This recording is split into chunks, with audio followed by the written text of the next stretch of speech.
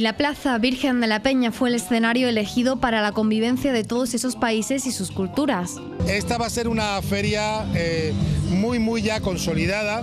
Eh, este año se ha ocupado entero el recinto de, la plaza, incluido el vial que la rodea, porque contamos con la presencia de más de 30 artesanos de, de hecho en Mijas, que también están aquí para mostrar lo que se hace un sinfín de actividades que arrancaron a las 8 de la tarde con el certamen de salsa de la Universidad Popular de Mijas dirigido por Juan Jesús Leiva, un baile que incitó a llenar la barriga y a probar la amplia cultura gastronómica.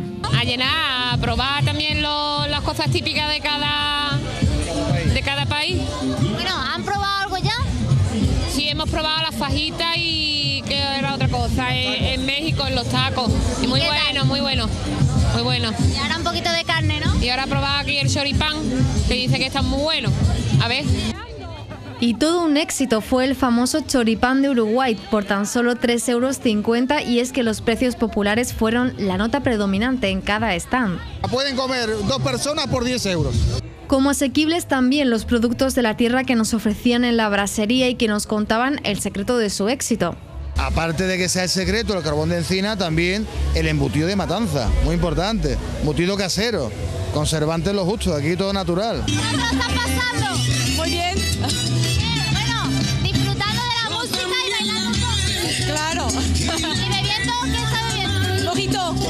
Típico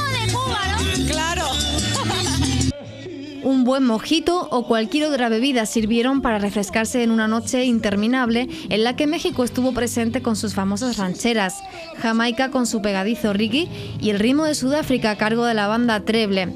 Mezcla de culturas bajo un mismo escenario. Mijas.